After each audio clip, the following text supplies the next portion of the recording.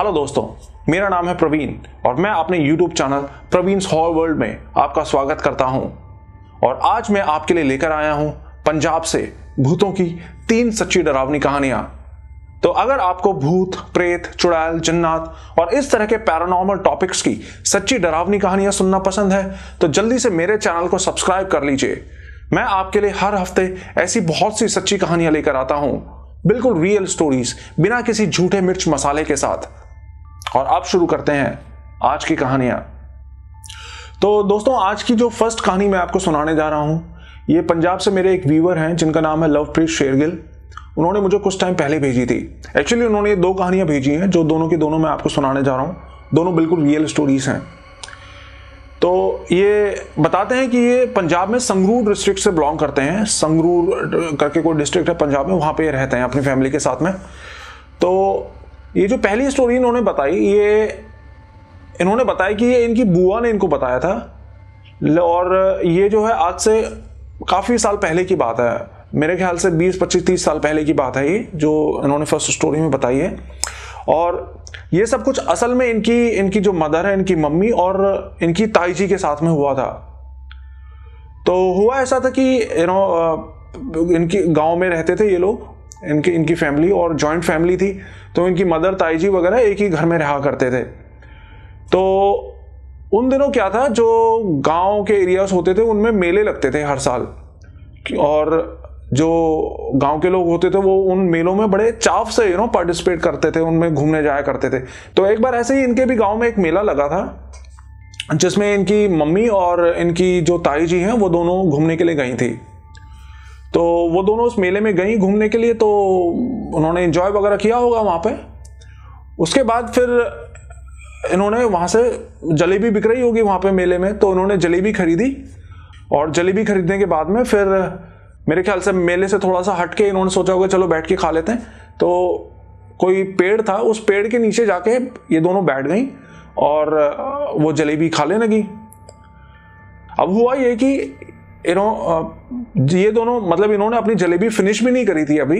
ये जलेबी खाई नहीं थी कि अचानक से इन दोनों का, किसी एक का नहीं, दोनों का सर भारी होने लगा, बहुत भारी होने लगा।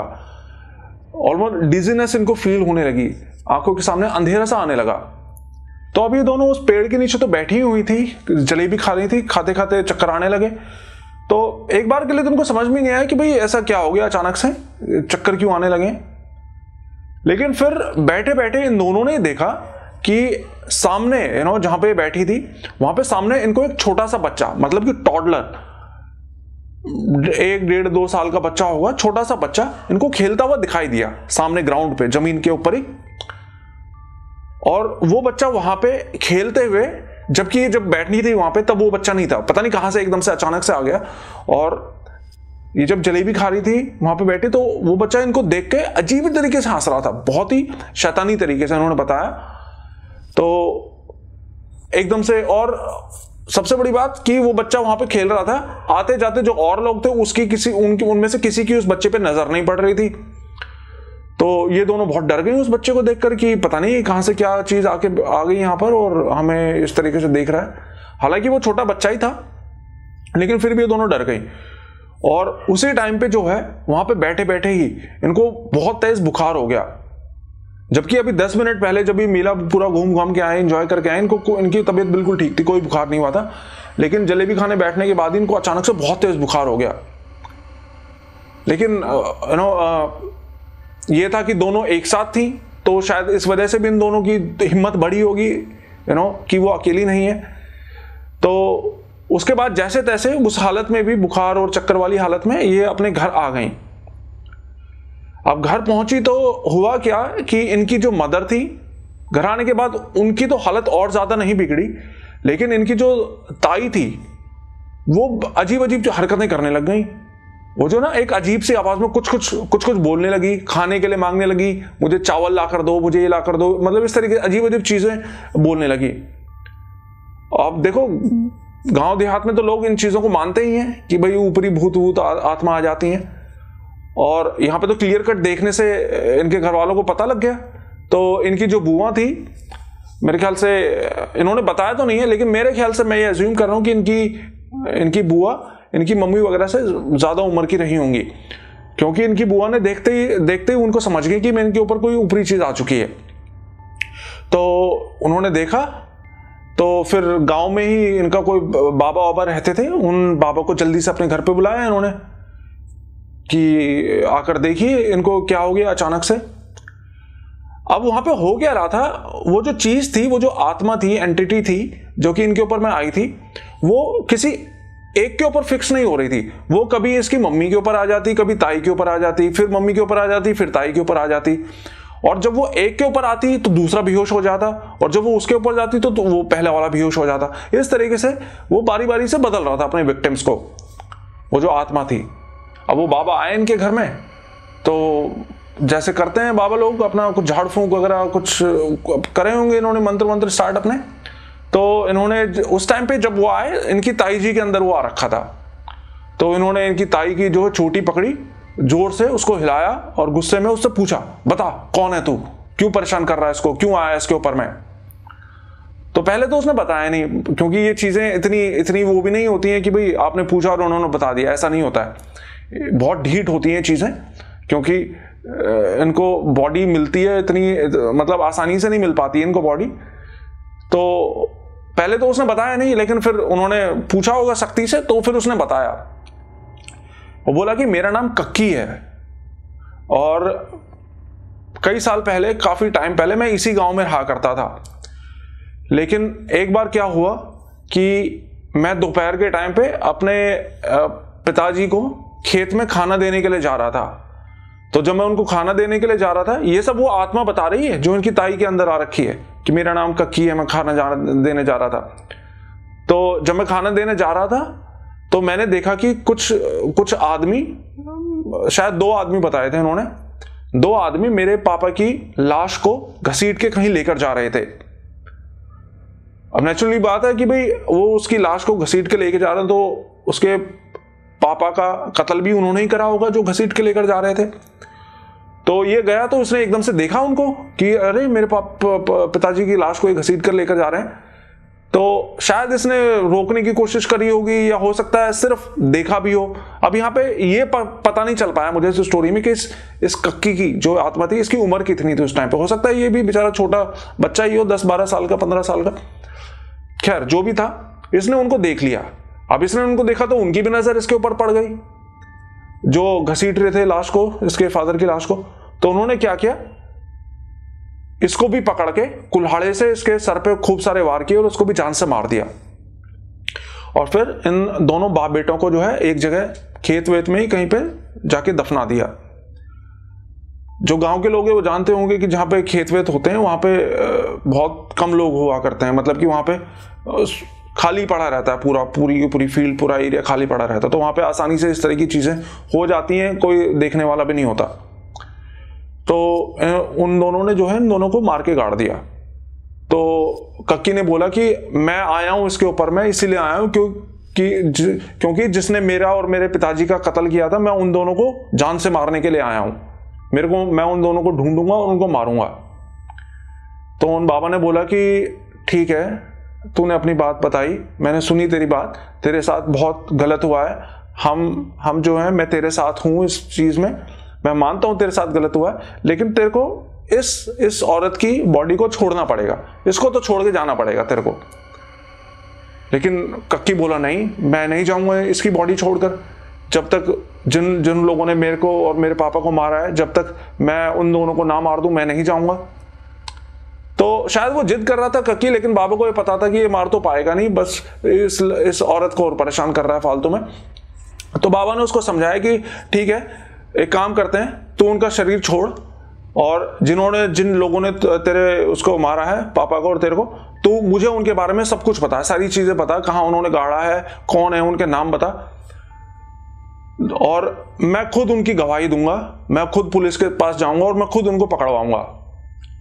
तो उस बाबा ने उनको, उसको, कक्की को कॉन्फिडेंस में लिया तो वो मान गया लास्ट में, कि ठीक है, मैं इसका शरीर छोड़ दूँगा और फिर कभी इसके ऊपर नहीं आऊँगा। लेकिन तुमको उसको सजा दिलवानी पड़ेगी। बाबू बोले, ठीक है। ये बताते हैं कि वो बाबा भी बहुत जो है ना अच्छे दिल का इंसान था। किसी के साथ कभी गलत नहीं होने देता था वो। तो फिर जब वो कक्की मान गया, तैयार हो गया उसके शरीर को छोड़कर जाने को तो बाबा ने उससे पूछा कि, ठीक है, तू जा रहा है, लेकिन हमें कैसे पता चलेगा कि तूने इसका शरीर छोड़ दिया है? तो वो बोला कि, तुम एक काम करो, तुम्हारा जो घर है, उसके सामने मेन गेट पे एक पानी का ग्लास रख दो। मतलब एक ग्लास में पानी भर के रख दो। जब मैं इसका शरीर छोड़ के तुम्हारे घर से निकलूँगा, उस मेन गेट से बाहर निकलूँगा तो मैं वो ग्लास गिरा दूँगा। तब तुम समझ जाना कि मैंने इसका शरीर छोड़ दिया तो बाबा बोले, ठीक है। उन लोगों ने वहाँ पे मेन गेट के सामने एक पानी का ग्लास भर के रख दिया। और फिर कुछ ही देर बाद वो आत्मा निकल गई, उसकी, कि उसके शरीर से निकल गया होगा तो वो सामने पानी का ग्लास गिर गया। और इनकी ताई जी जिनके अंदर वो था, वो भी जो है लुढ़क गई, पीछे बेहोश हो गई। जिसका मतलब था वो आत्मा जा चुकी है। लेकिन अब बाबा ने तो इस, उसको वादा किया था कि भाई, मैं सजा दिलवाऊँगा उनको।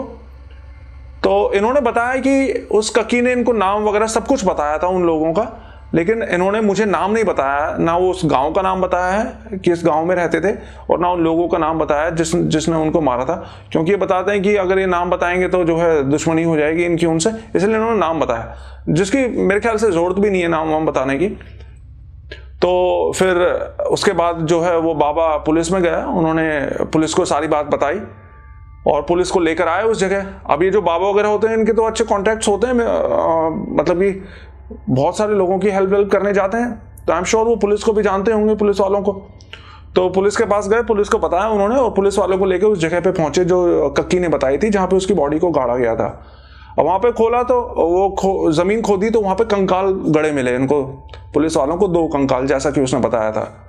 एक उसका होगा कक्की का और उसके पिताजी का होगा। उसके बाद फिर उन दोनों को भी उन दोनों आदमियों दो आदमी थे जिन्होंने मारा था उन दोनों को भी पकड़ा गया। और फिर लास्ट में उन दोनों को जेल हो गई। उस बाबा ने उसको जेल करवाई थी, जैसा कि उसने वादा किया था। ये थी ये पूरी स्टोरी जो कि पहली स्टोरी जो कि इन्होंने मुझे भेजी थी।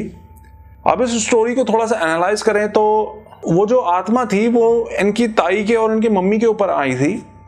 हालाँकि मैं आपको एक चीज़ क्लियर कर देता हूँ आप लोग भूत की स्टोरीज वगैरह सुनते होंगे कि आत्मा आ गई, उसके अंदर ये आ गई, उसके अंदर मतलब मुझे ऐसा पर्सनली मेरी ये ओपिनियन है कि इन आत्माओं ये आत्माएँ आती तो हैं किसी लोगों के शरीरों में, लेकिन मुझे नहीं लगता कि इनके लिए इतना आसान होता है कि ये किसी के भी शरीर में घुस जाएँ। मुझे लगता है ये अपने कुछ पर्टिकुलर विक्टिम्स होते हैं, कुछ कुछ ऐसे पर्टिकुलर लोग होते हैं जिनके ऊपर ही ये आ पाते हैं। ये हर किसी के ऊपर नहीं आ सकते। अगर हर किसी के ऊपर आते होते तो मेरे ख्याल से वो कक्की इतने सालों वेट वेट नहीं करता किसी के ऊपर आने का। अब उनके ऊपर क्यों आया? शायद इसीलिए कि भाई, हो सकता है वो उस पेड़ पे रहता हो, जिस पेड़ के नीचे बैठ के जलेबियाँ खा रही थी।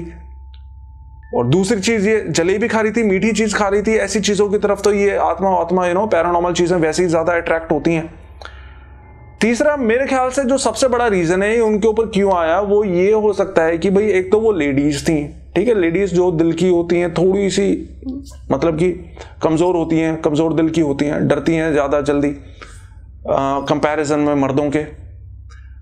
और दूसरा, मुझे लगता है, हो सकता है उनकी कुछ कुंडली उंडली में भी ऐसा होगा। बहुत से लोग होते हैं, उनकी कुंडली में ही ऐसा होता है कि भाई उनको वो ज़्यादा प्रोन होते हैं इस तरह की चीज़ों से पैरानॉर्मल अटैक से। जबकि कुछ जिनको बोलते हैं ना, देवगण, राक्षसगण, ऐसा इसका भी कुछ रीज़न हो सकता है। लेकिन ये पक्का है कि भाई ऐसा नहीं है कि ये आत्मा आत्मा किसी को भी पकड़ लेंगे। नहीं, मुझे ऐसा नहीं लगता। इन, इनके विक्टिम्स कुछ पर्टिकुलर विक्टिम्स ही होते हैं। हर किसी को नहीं पकड़ पाते। और दूसरा, ये पकड़ भी लेते हैं तो जान लेना इनके लिए इतना आसान नहीं होता जितना कि फ़िल्मों में या इस तरह की चीज़ों में दिखाया जाता है। जान लेना इनके लिए भी बहुत बड़ी बात होती है किसी की। कोई एक आम स्पिरिट जो होता है, आम आत्मा, मुझे नहीं लगता किसी की जान ले सकती है। हाँ वो बहुत ही दुष्ट बहुत जो है ना ताकतवर आत्मा हो तो हो सकता है वो किसी की जान भी ले ले, लेकिन नॉर्मल स्पिरिट किसी की, मुझे नहीं लगता जान ले सकता है। तो खैर, जैसा यहाँ पे हुआ लास्ट में इन्होंने भी बाबा की हेल्प ली, और बाबा ने ही इनको बचाया। अगर ये खुद सोचते कि हम खुद खुद ही कुछ कर लें नो बच जाएँ इस चीज़ से तो ये शायद नहीं भी बच पाती।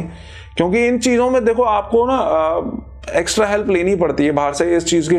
जैसे आपको कोई बीमारी हो जाए तो आपको डॉक्टर की मदद लेनी पड़ेगी। आप सोचो कि घर में ही खुद ही इलाज करके मैं ठीक हो जाऊँ तो ऐसा नहीं होता। उसी तरह पैरानॉर्मल चीज़ों की भी, ये भी जो है इन चीज़ों में भी आपको हेल्प लेनी पड़ती है। अजीब लगती है चीज़ें सुनने में, लेकिन ये सब सच होता है। हेल्प की ज़रूरत पड़ती है और हेल्प से ही आप ठीक होते हो। खैर, ये तो एक सिंपल सी भूत की स्टोरी थी। कुछ ब्लैक मैजिक की स्टोरीज इस वीडियो में तो नहीं, आने वाले वीडियोस में मैं आपको सुनाऊँगा। ऐसा ऐसा ब्लैक मैजिक किया जाता है दुनिया में, मैं आपको बता दूँ कि कुछ ब्लैक मैजिक प्रैक्टिशनर्स तो इतने पावरफुल होते हैं, इतने जो है ना वो होते हैं कि उनका किया हुआ तो आप यूँ लगा लो लिटरली कोई काट ही नहीं सकता दुनिया में, सिर्फ़ वो काट, खुद ही काटें तो काटे, नहीं तो और कोई नहीं काट सकता। ऐसा ऐसा ब्लैक मैजिक भी होता है दुनिया में। खैर, वो किसी और टॉपिक पे ले, किसी और वीडियो के टॉपिक पे ले छोड़ते हैं। अब मैं आपको सुनाता हूँ सेकेंड स्टोरी इस वीडियो की, जो कि इन्होंने लवप्रीत शेरगिल ने ही मुझे भेजी है। तो ये दूसरी स्टोरी भी इन्हीं के गाँव की है। तो ये बताता है कि हुआ ये था कि इनके गाँव में एक औरत रहा करती थी। अपने हस्बैंड के साथ में फैमिली के साथ में, लेकिन उस औरत का जो है किसी दूसरे मर्द के साथ में चक्कर हो गया। अब चक्कर हुआ तो आई एम श्योर उस आदमी ने जिसके साथ इसका चक्कर हुआ था, औरत का, उसने इसको झूठे वादे वगैरह करे होंगे कि भाई तो उसको छोड़ के मेरे साथ रहने लग जा, मैं तेरे को रानी बना के रखूँगा, शादी वादी करूँगा, ये सब करूँगा। तो इसने जो है अपने पति को छोड़ दिया और उस आदमी के साथ में रहने लगी। लेकिन नॉर्मली जैसा होता है, ज़्यादातर इस तरह के केसेस में, उस आदमी ने भी उस औरत को छोड़ दिया। तो अब उस आदमी ने उस औरत को छोड़ दिया तो वो बेचारी कहीं की नहीं रही फिर। उसने पति को भी अपने छोड़ दिया था और उस आदमी के जिसके साथ यू नो वो सबको छोड़ छाड़ के आई थी, उसने भी छोड़ दिया। तो लास्ट में उस औरत ने जो है परेशान होकर, दुखी होकर, शर्मिंदगी से मेरे ख्याल से खुदकुशी कर ली।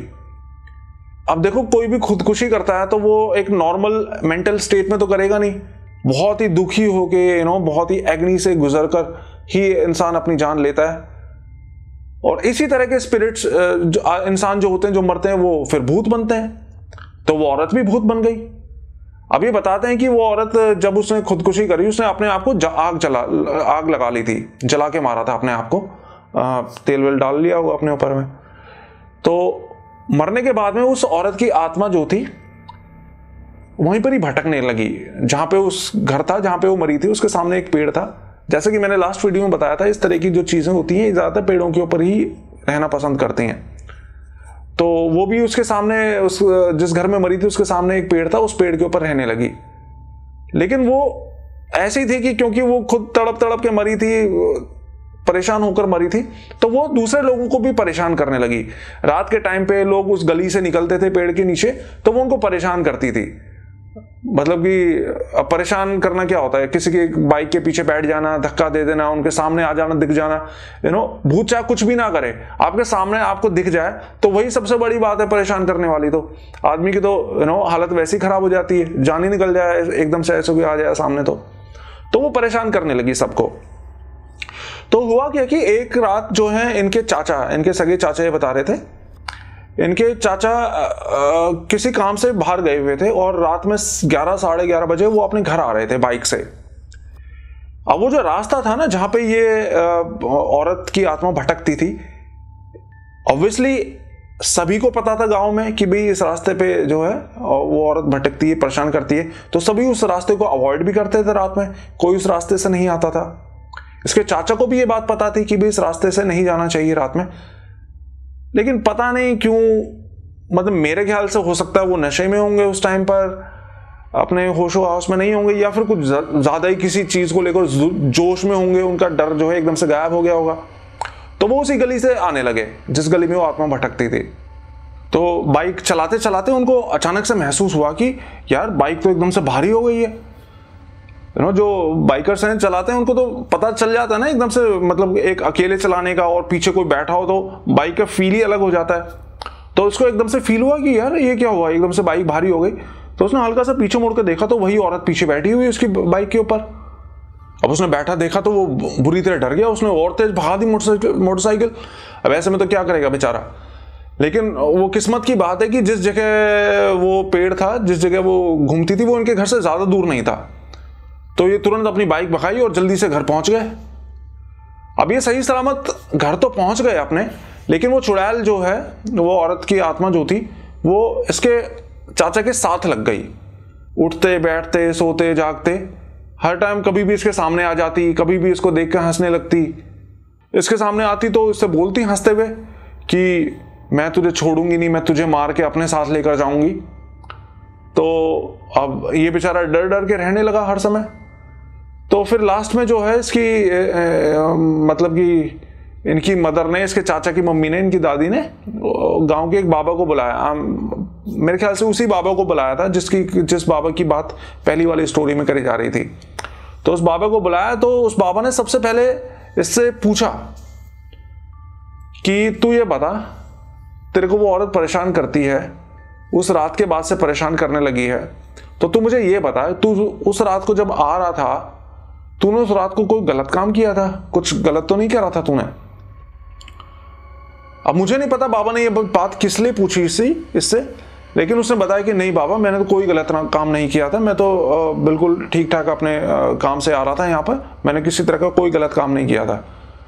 तो बाबा ने कहा, ठीक है, अगर तूने कोई गलत काम नहीं किया तो वो तेरा कुछ नहीं बिगाड़ पाएगी, इसका वादा मैं करता हूँ। फिर उस बाबा ने करा होगा कुछ अपना तंत्र मंत्र जो भी झाड़ फूंक वगैरह? लेकिन अब वो जो चुड़ैल थी, वो आत्मा थी, वो परेशान तो करी, करती थी गाँव के सब लोगों को।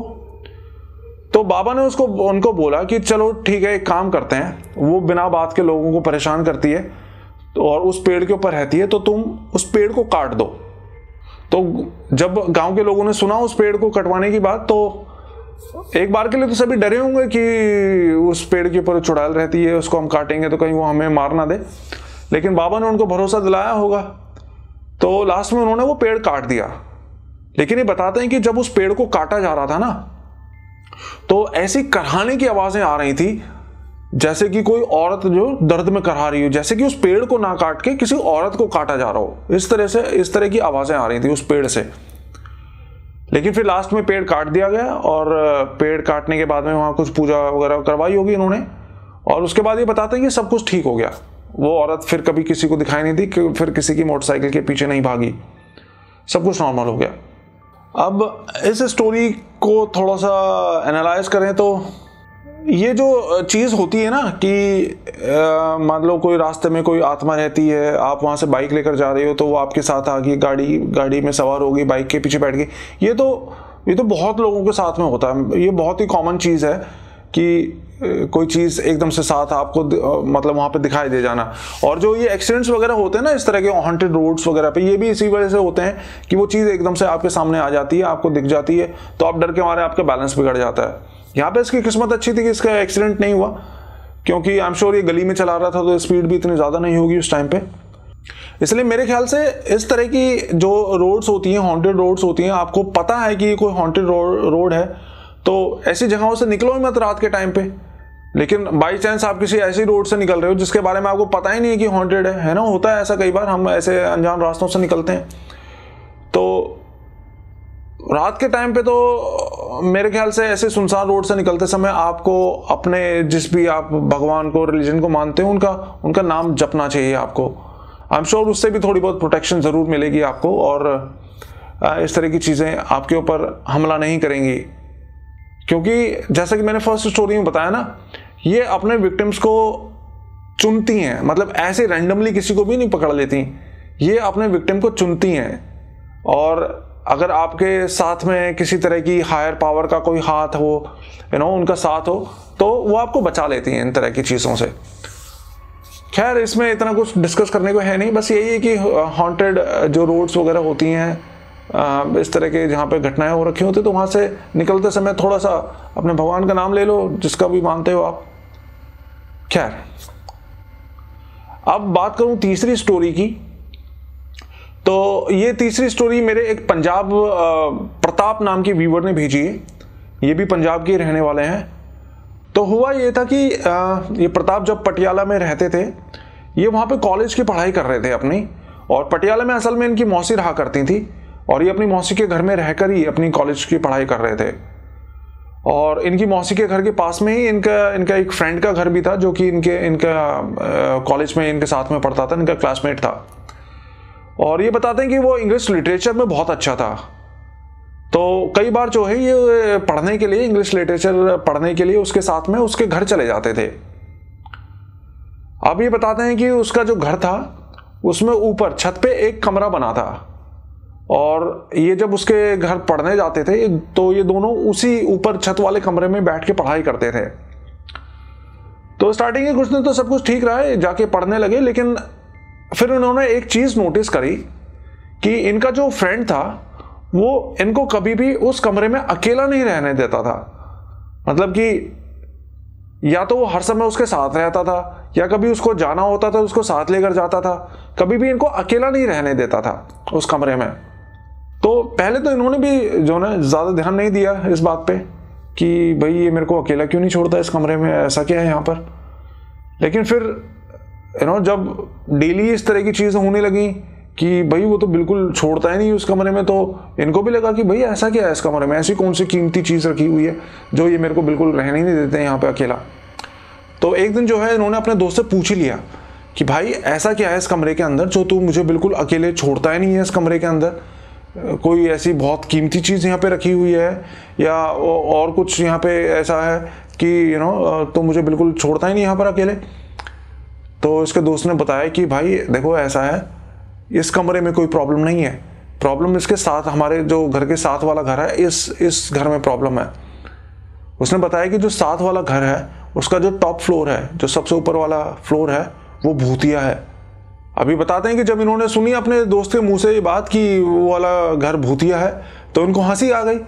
इन्होंने अपने दोस्त से बोला कि यार यार, क्या बच्चों वाली बात करता है? हम कॉलेज में पढ़ रहे हैं और तो ये, क्या भूत वूत ये सब कुछ ये सब कुछ नहीं होता। तो इनके दोस्त ने बोला चुप हो जा, धीरे बोल, कहीं वो सुन ना ले। तो इनको भी लगा कि, अरे, कौन सुन लेगा? कौन, किसकी बात कर रहे हो? कौन सुन लेगा बाहर? फिर इनके दोस्त ने इनको पूरी बात बताई। तो हुआ, असल में हुआ क्या था कि जो पड़ोस वाला घर था, उसमें एक बुढ़ा रहा करता था, एक बूढ़ा आदमी रहता था उसमें। उस पूरे घर में वो अकेला ही रहता था बूढ़ा आदमी, उसके साथ कोई और नहीं रहता था। अब वो था तो बूढ़ा, लेकिन वो बहुत ही जो है ना सनकी किस्म का आदमी था। मतलब कि वो हर किसी से गुस्से से बात करता था लड़ झगड़ के बात करता था, नॉर्मली प्यार से किसी से बात नहीं करता था। और दिन भर जो है अपना ऊपर फ़र्स्ट फ्लोर वाली जो उनकी खिड़की थी उस पर खड़ा रहता है और आते जाते लोगों को अजीब ही तरीके से देख के स्माइल करता रहता था, जैसे कोई शैतान हंस रहा हो, इसके फ्रेंड ने बताया। तो इस वजह से जो है, आसपास के लोग उससे, उस आदमी से दूर ही रहते थे। कोई भी उससे पास नहीं आता था बात बात नहीं करता था उससे। अब वो दिन भर जो है, अपनी खिड़की पे खड़ा रहता था, बूढ़ा आदमी। लेकिन फिर एक बार क्या हुआ, कई दिनों तक वो किसी को दिखाई नहीं दिया, वो बुढ़ा। अब किसी को नहीं दिखा तो लोगों को शक हुआ कि भाई, ये तो आदमी दिन भर अपनी खिड़की पर ही खड़ा रहता था। लेकिन अब इतने दिन हो गए, ये तो किसी को दिखा नहीं। कहीं ऐसा तो नहीं कि भाई, मरी गया हो बुढ़ा। तो आसपास के गली मोहल्ले के सारे लोग इकट्ठा हुए। इस घर पहुँचे, घर की इन्होंने बहुत देर तक घंटी बजाई। लेकिन किसी ने दरवाज़ा नहीं खोला। फिर लास्ट में इन्होंने वो दरवाज़ा तोड़ा। क्योंकि अब तो देखो ऑब्वियसली उनको भी यकीन हो ही गया होगा कि पक्का कुछ गड़बड़ है, हो सकता है बुढ़ा गिर विर के पैर वैर फिसल के हो सकता मर गया। तो उन्होंने वो दरवाज़ा तोड़ा। अब दरवाज़ा तोड़ के जब ये ऊपर फ़र्स्ट फ्लोर पे गए तो वहाँ पे वो बुढ़ा वाकई में मरा पड़ा था। उसके बाद फिर क्रियाक्रम वगैरह था, संस्कार वगैरह, पता नहीं किसने करा होगा, इनकी फैमिली को हो सकता है, बुढ़े की फैमिली को बुलाया होगा, आसपास के लोग थे उन्होंने। तो उसका दाह संस्कार हो गया। असल में वो जो था बुढ़ा, मैं आपको सॉरी बताना भूल गया, वो वहाँ पे किराए पे रहता था, वो उसका अपना घर नहीं था। वो उस उस घर में किराए पे रहता था। तो अब वो मर गया तो फिर हुआ ये कि उसकी जो आत्मा थी तो उसी घर में भटकने लगी। और जैसे कि वो मरने से पहले खिड़की पे खड़ा जो है, आते आते जाते लोगों को देख के हंसता था। तो मरने के बाद भी जो है, लोग, बहुत से लोग आते जाते उनको दिखाई देता, वो खिड़की पे खड़ा हुआ। तो लोग समझ गए कि भाई ये तो जो है, अब भूतिया घर बन चुका है। तो सब लोग उस घर से दूर ही रहते थे, लेकिन था तो वो किराए का घर। तो उस बुढ़े के मरने के बाद में मकान मालिक ने किसी और को किराया चढ़ा दिया। बहुत से होते हैं मकान मालिक ऐसे, उनको किसी चीज़ से कोई मतलब नहीं होता, सिर्फ़ अपने किराए से मतलब होता है। तो वो किराए पे चढ़ा देता आगे। लेकिन फिर जो भी नया किराएदार आता उस घर में, वो थोड़े दिन रुक पाते, दस पंद्रह बीस दिन से ज़्यादा कोई नहीं रुक पाता था। उस घर के अंदर, वो छोड़ के भागना ही पड़ता। ऑब्वियसली उस घर के अंदर आत्मा थी, उस बुढ़े आदमी की तो कोई कोई कैसे रुक सकता था? परेशान करता हुआ वो लोगों को। तो ये सब जो है, इनके दोस्त ने इसको बताया। अब जब ये, इसके दोस्त ने ये इनको बात बताई, उस टाइम पे उस उस घर में कोई नहीं रहता था। उस टाइम पे वो घर खाली पड़ा था। इसी बीच जो है, इनके कॉलेज में जो है, कुछ टाइम बाद एग्ज़ाम से स्टार्ट हो गए। अब एग्ज़ाम से स्टार्ट हुए तो ये पढ़ाई करने के लिए जो है, रोज़ अपने दोस्त के घर ही आने लगे। तो ये बताते हैं कि एक दिन हुआ ये कि कुछ टाइम बाद, जब इनको ये बात पता चली थी, उसके कुछ टाइम बाद, एक दिन ये अपने दोस्त के साथ ही बैठे ऊपर वाले कमरे में, उसी कमरे में बैठे, पढ़ाई कर रहे थे दोनों। मतलब उस टाइम तक मतलब पहले जब इनको बात पता लगी थी, तब तो वो घर खाली था। लेकिन बाद में जब ये पेपर इनके स्टार्ट हुए तभी जब आके पढ़ने लगे, तब तक उस घर के अंदर एक दूसरी फैमिली आ चुकी थी किराए पर रहने के लिए। उस फैमिली में एक मियाँ बीबी थे हस्बैंड वाइफ थे, और उनका एक छोटा बच्चा था। और वो जो आदमी था, उसकी नाइट नाइट ड्यूटी लगती थी, रात में अपना काम पे चला जाता था। तो हुआ ये कि एक रात ये दोनों अपने दोस्त बैठे, ऊपर पढ़ाई कर रहे थे उसी कमरे में, जिसमें ये अक्सर बैठा करते थे। तो बैठे थे तो एकदम से जो है, इनको पड़ोस वाले उसी घर से, ज़ोर ज़ोर से चिल्लाने की आवाज़ सुनाई दी किसी औरत के। तो एकदम से देखे, अरे, कौन चिल्ला रहा है ऐसे तो जल्दी से भागे। अब ये घर के बाहर गए तो देखा कि वो जो लेडी थी, जो किराए पे रहने आई थी अपने हस्बैंड के साथ में, वो अपने बच्चों को लेके भागती हुई घर से बाहर निकल रही थी। अब वो चिल्लाती हुई आ रही थी तो आसपास के जो है बहुत सारे लोग भी इकट्ठा हो गए, वहाँ पे भीड़ से लग गई। तो इनके दोस्त की मम्मी उम्मी भी बाहर निकली। उस औरत से वो बहुत बेचारी बहुत बुरी तरह डरी हुई थी। तो इनके दो, इनकी इनकी जो मम्मी थी, इनके दोस्त की मम्मी, वो उस औरत को लेकर अपने घर ही आ गई कि चलो कोई बात नहीं तुम एक काम करो, हमारे घर के आके बैठो, थोड़ा नॉर्मल हो, और हमें बताओ कि क्या हुआ, ऐसे क्यों चिल्ला रही हो। तो वो आई इनके घर में, कुछ देर बैठी पानी वानी पिया होगा। तो कुछ देर बाद जब वो नॉर्मल हुई तो फिर उसने बताया कि हमें यहाँ पे आए, कुछ ही दिन हुए हैं, लेकिन पहले दिन से ही मतलब रात में मेरे हस्बैंड तो जो है, अपनी ड्यूटी पर चले जाते थे, लेकिन पहली रात से ही मुझे ऐसा लगता था जैसे इस घर में कोई और भी है।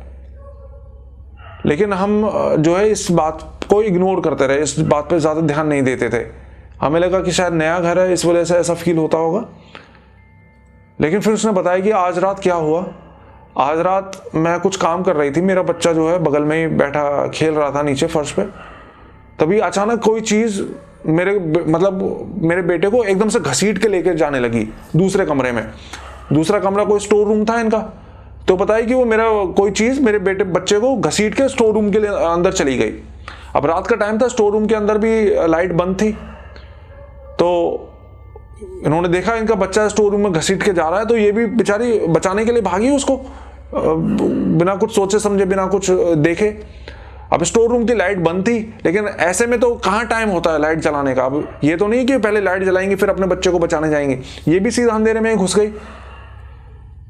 लेकिन ये अंधेरे में घुस के इन्होंने जैसे ही अपने बच्चे को उठाया इनका पैर यूँ पकड़ लिया किसी ने किसी चीज़ ने।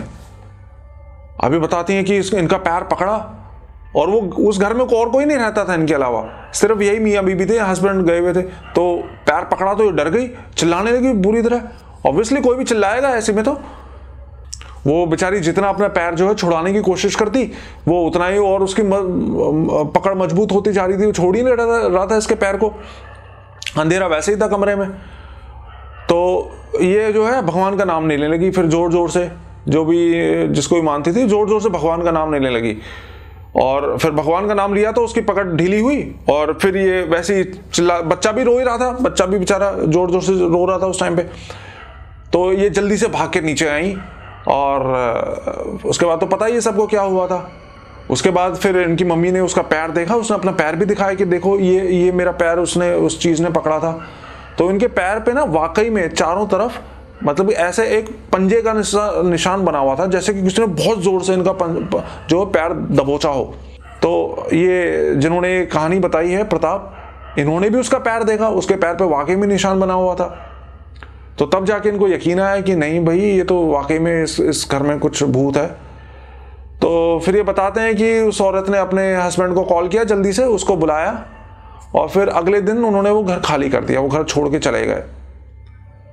ये थी ये पूरी स्टोरी जो कि प्रताप ने मुझे भेजी थी। आप इस स्टोरी को एनालाइज करेंगे तो देखो, ये तो क्लियर कट हॉन्टेड हाउस का केस है।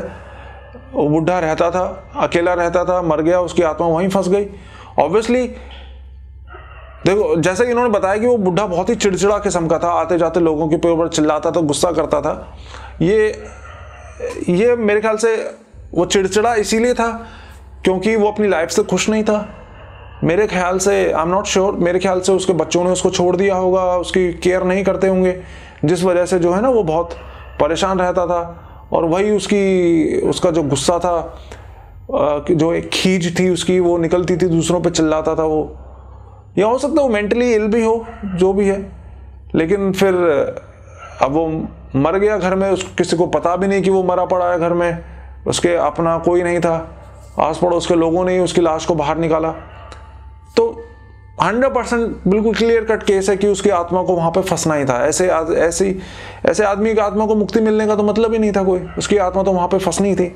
लेकिन यहाँ पे मेरे को ये लगता है कि ये जो आस पड़ोस के लोग थे, जिनको कि पता था कि वो घर हॉन्टेड है यू नो उनको उसकी आत्मा भी दिखाई देती थी तो मुझे लगता है इन लोगों का फ़र्ज़ बनता था कि उस घर में जो किराएदार आते थे, उनको बताने का कि भाई ऐसा ऐसा है इस घर में मतलब आप बता दो उसको, उसके बाद वो रहना चाहे ना रहना चाहे, वो उनकी मर्ज़ी।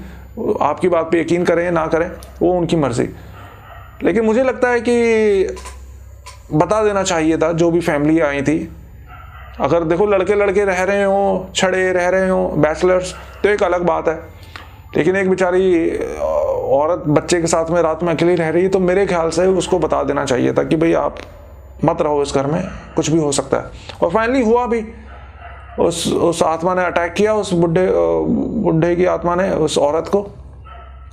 और नॉर्मली जैसा कि मैंने पहले एक वीडियो में बताया था आपको, इस तरह की चीज़ें सबसे ज़्यादा औरतों को ही अपना शिकार बनाती हैं। और इसके पीछे सबसे बड़ा रीज़न मेरे ख्याल से ये है, मेरी पर्सनल ओपिनियन है, वो होता सेक्सुअल रीजंस की वजह से। क्योंकि अपनी जो इनकी ख्वाहिशें होती हैं, जो हवस होती है, वो जीते जी पूरी नहीं होती तो ये मरने के बाद पूरी करने की कोशिश करते हैं। बहुत सारे केसेस में ऐसा होता है। तो इसी वजह से जो है लेडीज़ को ज़्यादा निशाना बनाते हैं। तो खैर, अगर आपके घर में ऐसी कोई लेडी है जैसे आपकी नई नई शादी हुई है, आपकी वाइफ है, या कोई नो जवान लड़की है घर में तो वो ज़्यादा प्रोन होते हैं इस तरह की चीज़ों के यू नो विक्टिम बनने के। बाकी जैसा मैं आपको पहले बताया था कि जब भी आप किसी भी नए घर में जाएँ और आपको कुछ भी पैरानॉर्मल होता फील हो यू नो कुछ भी ऐसी चीज़ें कि अलमारी से आपका सामान निकाल के बाहर फेंक दिया या आपकी कुछ चीज़ें घर के बाहर रखी मिली, नल अपने आप चल रहा है, लाइटें अपने आप जल जल बुझ रही हैं तो ये सब इशारे होते हैं इन चीज़ों के आपको बताने के कि भाई आप यहाँ पे मत रहो हमें आपका रहना पसंद नहीं है, इस घर में हम रहते हैं, ये हमारा है, आप छोड़ के चले जाओ। तो आपको इशारे समझ जाने चाहिए। सब कुछ देखते हुए भी, समझते हुए भी अगर आप उस चीज़ को इग्नोर कर रहे हो तो उसकी चीज़, हरकतें तो बढ़ेंगी। उसको तो जो है, वो तो स्पिरिट है, आत्मा है, उसको किसी तरह की कोई बाउंडेशन नहीं है ना।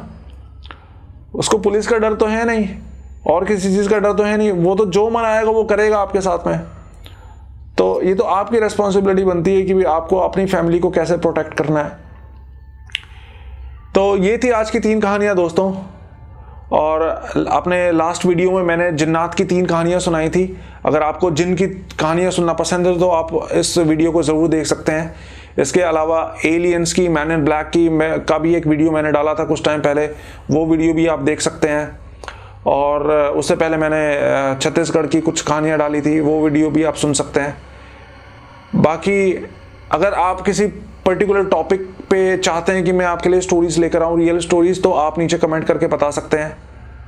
उम्मीद है आपको ये वाला वीडियो पसंद आया होगा, ये स्टोरीज अच्छी लगी होंगी, कमेंट करके ज़रूर बताना। अगर आप अपनी कुछ इनसाइट शेयर करना चाहते हैं इन स्टोरीज को लेकर तो भी नीचे कमेंट करके ज़रूर बताना। अगर आपकी ओपिनियन मुझे अच्छी लगी तो I am sure I will try to share it with other viewers in my next video आज के लिए इतना ही। बहुत जल्द आऊँगा एक और मज़ेदार वीडियो के साथ। Good bye